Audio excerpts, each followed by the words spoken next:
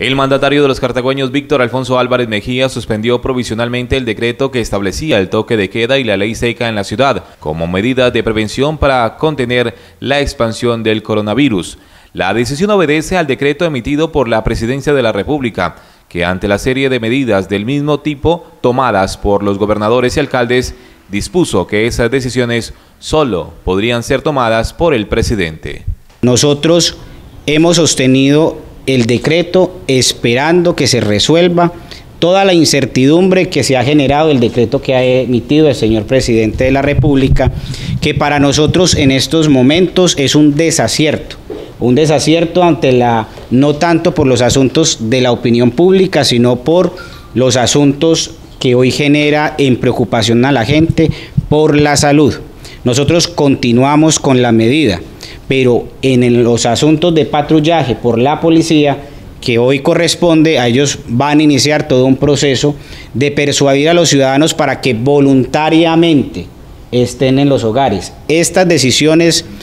también corresponde que la gente tenga conciencia, que no es tanto que el policía esté a un lado para que tenga el carácter coercitivo y que se vaya para su casa. Todos debemos de tener conciencia de la situación que se está presentando y nos corresponde acatar esta medida. Álvarez Mejía fue enfático en precisar que la administración municipal continúa comprometida con impulsar las acciones necesarias que permitan hacerle frente a la amenaza que se ha convertido el coronavirus y confió en que las medidas se pueda aplicar una vez sea autorizada por el presidente. El día de mañana aspiramos que el Ministerio del Interior no solamente aclare, sino que el señor presidente con toda la con toda eh, digámoslo eh, la presión pública que en ese momento se ve por las redes que está viviendo,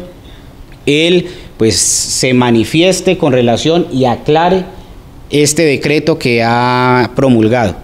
Para el alcalde la medida tiene fundamento jurídico y ya ha sido presentada al gobierno nacional preservar la calma, nos corresponde mirar jurídicamente cómo hacemos y está el equipo jurídico de eh, la administración municipal mirando cómo hacemos que nuestra medida tenga la fuerza de ley y el carácter constitucional que estamos seguros que contiene. Agradeció el respaldo de la comunidad que ha manifestado su deseo de acatar el toque de queda, especialmente el sector comercio. Hay un asunto que para nosotros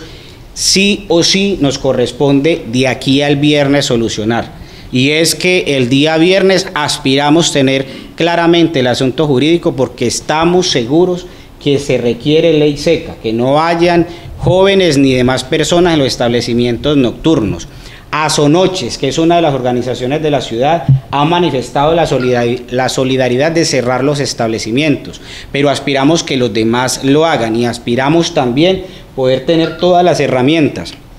para poder hacer cumplir lo que hoy en consenso ciudadano se había orientado como era el toque de queda y como es también eh, los asuntos de ley seca para que todos los ciudadanos tengan plenas garantías con relación a mm, el coronavirus que hoy tiene conmocionado y que Cartago no es la excepción. Finalmente, reiteró en la necesidad de que la ciudadanía debe tomar conciencia acerca de la importancia de permanecer en sus casas y de tomar todas las medidas de higiene para no correr riesgo de infectarse.